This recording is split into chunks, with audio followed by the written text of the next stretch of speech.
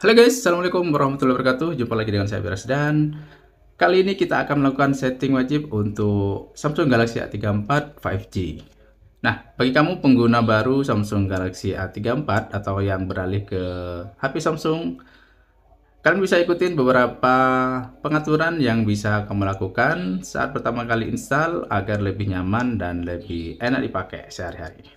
Oke, yang pertama pengaturan game launcher ya. Bagi kamu yang pernah menemukan uh, kasus setelah install game kalian tidak menemukan game yang kalian install baik di layar aplikasi maupun di layar depan seperti ini. Nah, itu sebenarnya kita bisa setting di game launcher ya. Nah, aplikasi-aplikasi game yang kalian install itu sebenarnya dia terkumpul di sini. Nah, di sini bisa kelihatan ya. Ini ada PUBG Chat, Sensing Impact dan Mobile Legend, tapi di layar aplikasi maupun layar depan kita tidak menemukan. Nah, di sini kalian bisa setting agar muncul di game launcher maupun di layar aplikasi dan layar depan. Nah, teman-teman bisa ke game launcher dan klik di pojok kiri lainnya ya. Seperti ini kemudian klik uh, pengaturan. Kemudian di sini kita cari tampilkan aplikasi game. Nah, di sini ada dua pilihan ya.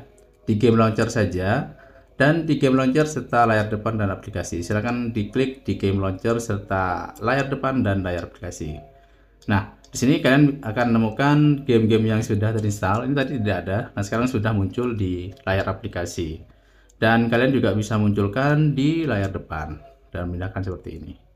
Kemudian settingan yang kedua yaitu settingan untuk always on display ya. Karena ini sudah mengusung layar AMOLED, kalian bisa setting untuk fitur AOD-nya.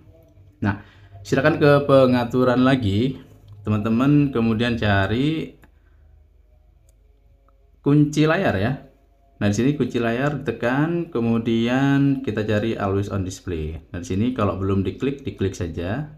Kemudian kita juga ada pilihan ya, ketik untuk menampilkan, selalu tampilkan, tampilkan sesuai jadwal, atau tampilkan untuk notifikasi baru. Nah, bila kalian memilih selalu tampilkan, ini akan muncul terus ya, seperti ini. Nah, ini akan muncul terus dan pastinya ini akan berdampak pada baterai yang boros ya. Nah, di sini kalian bisa uh, milih tampilkan sesuai jadwal ataupun ketuk untuk menampilkan. Nah, di sini teman-teman juga bisa pilih ya. Seperti apa aja yang kalian mau pakai jam analog seperti ini. Dan warna juga bisa diganti-ganti ya. Seperti ini. Coba kita coba yang warna-warni aja. Oke. Nah, kita coba. Nah, hasilnya seperti ini ya. Ketika diketuk saja dia akan muncul. Nah, seperti itu. Oke. Itu untuk settingan yang always on display. Oke, settingan berikutnya yaitu settingan untuk refreshing rate. Nah, di sini kita ke pengaturan lagi, kemudian kita pilih tampilan ya. Kemudian teman-teman bisa ke kemulusan gerakan. Nah, di sini kita bisa milih tinggi dan standar. Standar biasanya dia akan ke refreshing rate-nya 60 Hz sedangkan kalau tinggi ini ke 120 Hz nah sayangnya untuk Samsung Galaxy A34 ini kita tidak menemukan pengaturan yang otomatis ya. Jadi mau nggak mau kita harus beralih ke tinggi atau standar dan menyesuaikan kebutuhan yang kita sedang gunakan ya. Oke, kalau sedang lagi main game, silahkan uh, bisa setting ke refreshing rate tinggi atau jika pengen penggunaan sehari-hari kita bisa ke standar saja agar lebih hemat baterai. Oke. Oke itu settingan uh, reversing rate ya.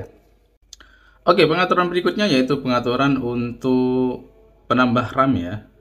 Di sini teman-teman bisa ke setting lagi kemudian kita scroll ke bawah kemudian kita cari perangkat perawatan perangkat dan baterai. Diklik saja di sini kemudian kita cari memori ya Nah, di sini eh, teman-teman uh, bisa klik RAM Plus. Dan di sini sudah ada pilihan 2 GB, 4 GB, 6 GB, dan 8 GB. Kita sesuaikan saja dengan kapasitas penyimpanan yang tersedia. Misalnya ini 71, silakan kalian pilih bisa ke 8, bisa ke 6. Tapi jika kapasitas penyimpanannya sudah tersedia sedikit, uh, sebaiknya pilih penambahan memori RAM-nya 2 GB saja atau tidak digunakan sama sekali. Oke. Itu untuk penambah RAM ya. Oke, pengaturan berikutnya yaitu pengaturan untuk navigation system. Nah, teman-teman bisa ke setting lagi, kemudian kita cari tampilan ya. Kemudian di sini kita scroll ke bawah, kemudian kita klik bilah navigasi. Nah, di sini eh, teman-teman uh, biasanya akan dapat yang default seperti ini ya. Ini ada tombol tiga di sini. Nah, bagi teman-teman yang tidak terlalu suka dengan seperti ini, kan mungkin nggak full screen ya. Dan ini mungkin uh, sangat mengganggu. Kita bisa pilih yang gesture. Nah, kalau gesture, ini tampilannya full screen seperti ini dan pengaturannya atau pengoperasiannya dia seperti iPhone ya Jadi tinggal memakai gesture kembali seperti ini kemudian untuk ke recent aplikasi seperti ini untuk ke home kita tinggal tarik ke atas seperti ini Oke kita lanjut ke settingan berikutnya ya. Kita ke pengaturan lagi. Kita akan melakukan settingan untuk dual messenger. Nah di sini teman-teman cari fitur lanjutan. Kemudian kita scroll ke bawah. Kita klik dual messenger ya. Nah, di sini untuk di Samsung ini cuma terbatas ya WhatsApp dan Facebook saja. Nah, di sini teman-teman bisa uh, mempunyai dual akun yang teman-teman punya dual akun ya akun bisnis ataupun akun pribadi bisa memakai WhatsApp dan Facebook dalam satu device seperti itu. Oke, di sini kita punya yang originalnya ya WhatsApp dan Facebook. Nanti kita akan buat cloningannya.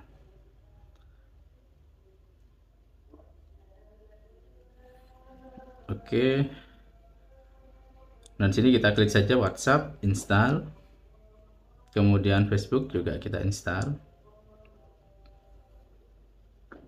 Oke, kalau sudah ini akan muncul Nah, ini dia cloningannya ya. Kita pindahin aja ke sini.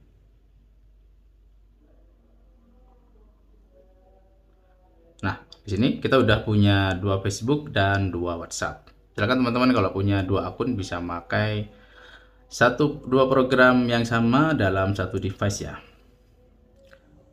Oke, kita lanjut untuk pengaturan berikutnya yaitu pengaturan untuk keyboard ya.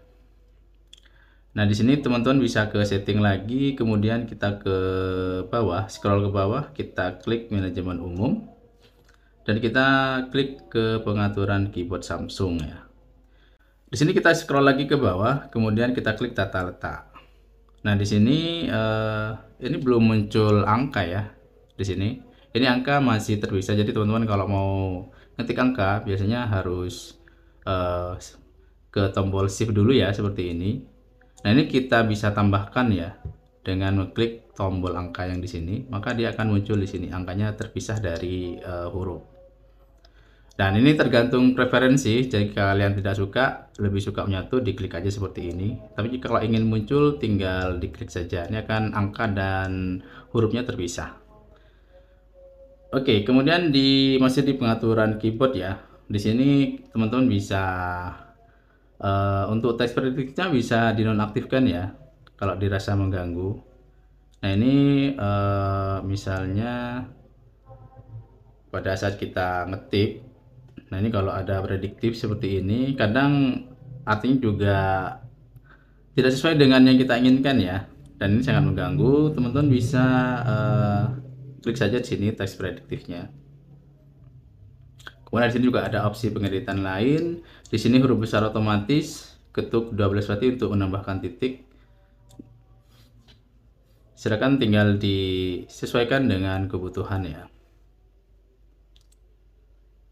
Kemudian di sini juga uh, kita bisa sesuaikan ukuran dan transparansinya. Misalnya kurang gede, kita tinggal gedein aja seperti ini. Atau terlalu besar, kita kecilin aja seperti ini. Oke, itu untuk pengaturan keyboard ya. Kemudian pengaturan berikutnya kita ke pengaturan layar depan. Nah, teman-teman bisa ke pengaturan lagi, kemudian kita pilih layar depan. Nah, di sini kita scroll ke bawah, kemudian ada tampilkan tombol layar aplikasi di layar depan. Nah ini biasanya uh, kalau teman-teman yang biasa gesture, nah ketika kita klik ke atas seperti ini kan menampilkan layar aplikasi ya. Nah kalau teman-teman suka yang default seperti zaman dulu ya, ada tombol di sini, teman-teman bisa tambahkan juga di sebagian setting ini. Di sini kita tambolkan uh, tombol layar aplikasi di layar depan seperti ini. Nah ini akan muncul yang ini ya, jadi kalau kita mau aplikasi tinggal klik yang ini. Nah ini juga sesuai dengan preferensi silahkan disesuaikan aja dengan kebutuhan. Oke kemudian berikutnya itu rencana icon dan aplikasi ya. Di sini ada pilihan angka dan titik. Nah ini seperti ini ada angka dan titik ya kalau angka dia akan muncul uh, misalnya notifikasi 40 berarti ini ada 40 notifikasi. Tapi kalau titik dia cuman uh, titik seperti ini aja. Tidak memunculkan berapa notifikasi yang muncul. Nah kalau saya suka yang angka jadi kita tahu berapa notifikasi yang muncul. Dan hasil seperti ini ya. Oke, itu untuk rencana ikon aplikasi. Oke, berikutnya yaitu pengaturan untuk notifikasi ya teman-teman bisa ke setting atau pengaturan lagi. Kemudian kita scroll dan kita klik pemberitahuan. Nah sini kita pilih pengaturan lanjutan. Nah di sini kita bisa setting untuk tampilkan icon notifikasi. Nah kebetulan di sini ada tiga pilih ada beberapa pilihan ya. Semua notifikasi. Nanti ini akan muncul semua di sini seperti ini. Atau tiga notifikasi terbaru atau kalau teman-teman tidak suka bisa dihilangkan ya. Di sini bisa clear. Oke.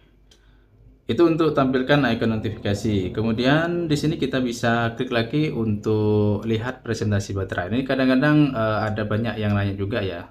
Bang, gimana caranya untuk me melihatkan atau mengaktifkan presentasi baterai? Di sini di pengaturan untuk di Samsung, uh, ini ada di bilas status ya, dan kita bisa klik aja langsung di sini.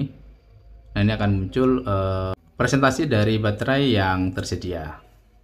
Kebetulan untuk Samsung tidak ada pilihan di dalam baterai ataupun di luar baterai ya. Ini untuk defaultnya dia di luar baterai. Oke guys, mungkin itu saja beberapa settingan yang bisa kita lakukan di Samsung Galaxy A34 5G. Terima kasih sudah menonton sampai akhir. Silahkan like kalau suka dan dislike kalau tidak suka. Jangan lupa subscribe dan tekan tombol notifikasinya untuk terus mendapatkan update terbaru dan video-video terbaru dari Ras dan CatCat. Terima kasih sudah menonton sampai akhir. Kita jumpa lagi di video berikutnya. Assalamualaikum warahmatullahi wabarakatuh.